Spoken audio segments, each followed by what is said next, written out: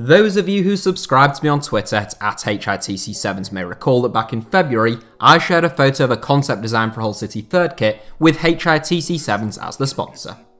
That was sent to me by aspiring shirt designer Alfie Powell, who creates lots of different shirt designs on his website alfiepowelldesign.com.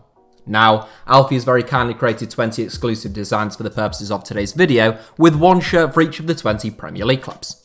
So you are in for a rare treat today, as there'll be less waffle from me, and for the most part, I'm just going to tell you what Alfie has told me with regards to his thoughts and ideas on each design. Also, just to avoid any confusion, the shirt sponsors are the current real life sponsors, with the exception of clubs sponsored by betting companies, in which case the sponsor has been replaced by a local charity. If there's one takeaway from this video, it may be just how many football clubs are sponsored by bookies. If you enjoy this type of video, Alfie and I may collaborate again in the future, maybe doing away kits, designs for championship clubs, La Liga teams, or even some international designs. It all depends what the response is like to this video, so let us know if you'd like to see more videos like this in the future down in the comments. Without further ado though, here is a stunning concept design for every Premier League team ahead of next season. Arsenal. Getting us started, since we will be going in alphabetical order as usual, is a retro look shirt for Arsenal. Alfie took his inspiration largely from Arsenal's 1992-93 kit, as you can probably see from this photo of that shirt, worn during a season in which Arsenal won a cup double, but only finished 10th in the league during the inaugural Premier League season. The central badge is something I've always liked, and Alfie does too, and the Gunners haven't had a shirt with that design since the 2005-06 campaign, which was the club's last season at Highbury. You may also notice that the Emirates logo is slightly different to the current one, switching from Fly Emirates to Emirates Fly Better, which appears to be a general rebrand by the airline and could be one reflected in Arsenal's upcoming kits. Aston Villa. Aston Villa have had some fantastic kits over the years, making their shirt this season look a little bit ordinary.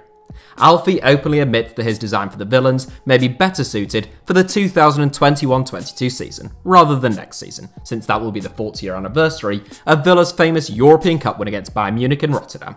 Alfie's Villa design honours that extraordinary success, with Roman numerals translating to 1982 running through the middle of the shirt. Meanwhile, the paisley pattern on the sleeves is simply to add some flair and style to the top. Bournemouth. Alfie isn't an enormous fan of the current Bournemouth kit, which he thinks looks a little bit shiny and cheap. In response, he's come up with a really classic design for the cherries. Black, or jet I suppose, becomes the dominant colour rather than red, along with a throwback to Bournemouth's old crest that would have been on their shirts during Dickie Dowsett's time at the club. Renowned for his tremendous heading ability, Bournemouth's current badge pays homage to Dowsett, and in many respects, this special edition would too.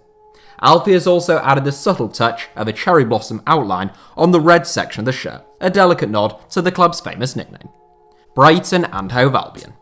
Staying on the south coast, Alfie has continued with a bit of a colour reversal. Just as the dominant colour of Bournemouth's shirt was switched from red to black, Brighton's has gone from blue to white.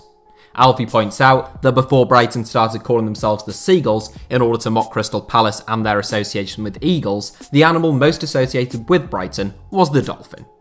The Brighton coat of arms, seen here, has long had two dolphins on it, although the design for the dolphins has evolved over the years.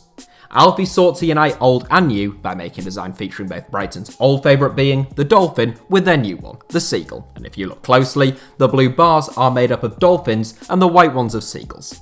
Clearly a lot of effort has gone into the shirt, and I like it, although I think an argument could be made for it looking a little bit more like an away kit than a home shirt. Burnley. Alfie's design for Burnley may have the look of some kind of Native American pattern at first glance, but don't be fooled.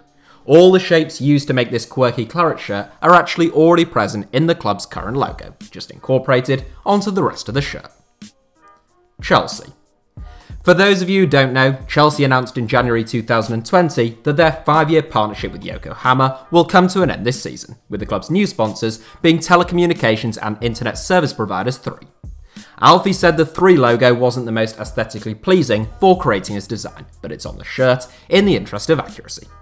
To quote Alfie directly on this one, with regards to the rest of the shirt, he writes, As you can see, I've gone down the Chelsea line route but rather than paste them all over the place, like the kit they had a few seasons back, I've made them out of equal sized lines using the opposing shades of blue. There's also a hem label on the sleeve with the rose and ball that can be seen on the crest. Crystal Palace. Not every one of Alfie's designs necessarily has to have a historical nod or a clever quirk, and this one for Crystal Palace was purely born out of aesthetics. And since there's not much for me to say about it, I'll just leave it on the screen for you to look at for a few seconds without the monotony of my voice. Everton. There's a bit of speculation involved in this one since it's not yet confirmed who Everton's kit supplier will be next season. The club were reported to have penned a multi-year deal with Umbro in 2019, but subsequent reports have suggested a parting of the two, with Everton linking up with Hummel instead. Alfie has gone with a Hummel kit as a result, with a smart design featuring pinstripes made up of the club's Latin motto, along with white and grey chevrons on the sleeves. Leicester City. Lots of these shirts have nods to the club's crest, and Leicester City's is another that falls into that category. One panel of the shirt features Leicester's nickname and mascot the fox, whilst the other is decorated with cinquefoils, which is the flower that the fox's head rests upon on the Leicester badge. The two patterns are broken up by a single gold stripe down the middle of the shirt, meanwhile the sleeves are a solid blue, with the exception of the cuffs, where the pattern continues. Liverpool. Alfie's original design for Liverpool was a classic red shirt, just with white and teal detailing to the collar and cuffs, until he came across the supposed leak of Liverpool's kit for next season, which was exactly that, and decided he'd best put his thinking cap back on. In the end, he came up with this, going for a two-tone design with the red and continuing the white and teal theme in the form of vertical pinstripes across the shirt. The old school logo and border are taken from Liverpool's kit from 1996 to 1998. Manchester City. I think this one looks great, and those are my words, not Alfie's, in case any of you thought he was just very arrogant about his own work.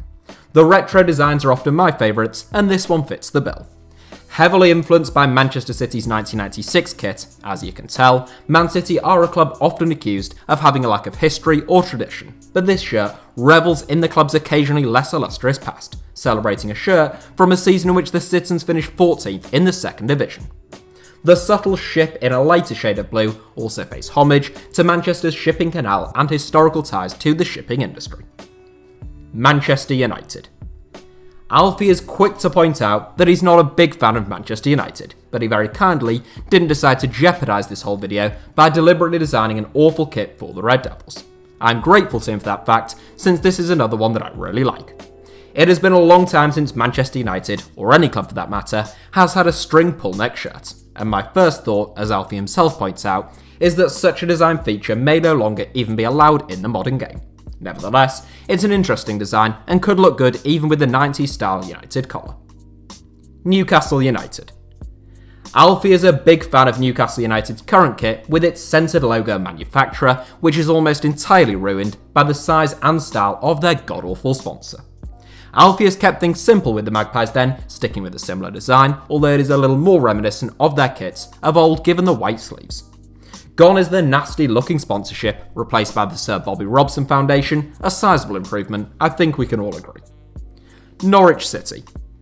Alfie is a big fan of a zip neck, and since he finds Norwich to be a likeable club and yellow is one of his favourite colours to work with, he chose to bestow them with one of his favourite designs. Whilst you get plenty of zip neck training tops, I'm not sure I've ever seen a zip neck official shirt, and one suspects the authorities might have one or two complaints about that as well. Sheffield United. Alfie said he felt guilty about messing around with Sheffield United's classic red and white stripes as a footballing purist, but I must admit, I think this one looks great. Alfie has gone for slightly thicker stripes than the current Sheffield United shirt, adding a thin black line, and if you look closer you'll see light blades decorating the white bars and roses in the red bars.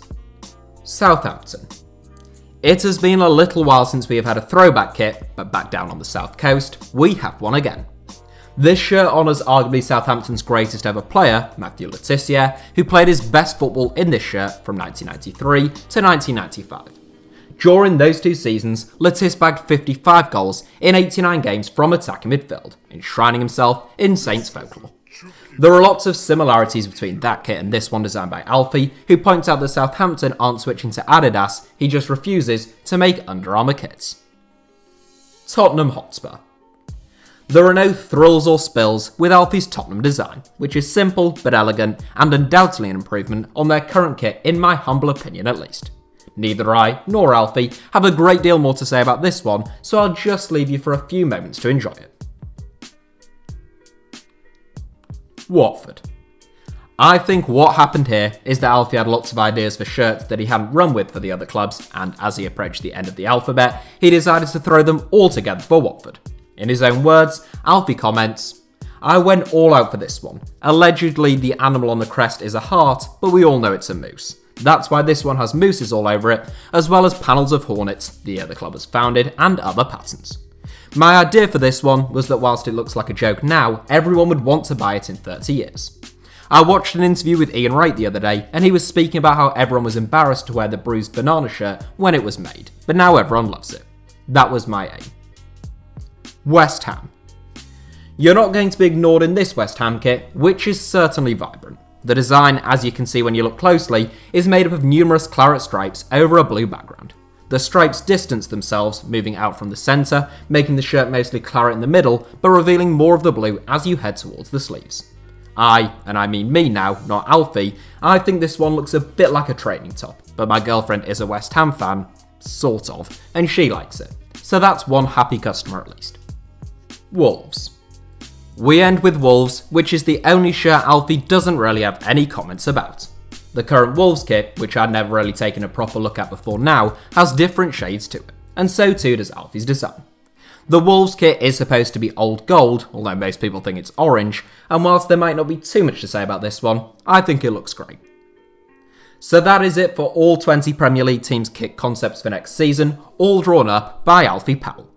Please give a big thank you to Alfie, whether you love your club's designs or not, and let me know down below if you'd like to see similar videos for any other teams or leagues in the future. Thank you all for watching, hit the like button if you enjoyed the video, and as always, make sure that you are subscribed to HITC Sevens.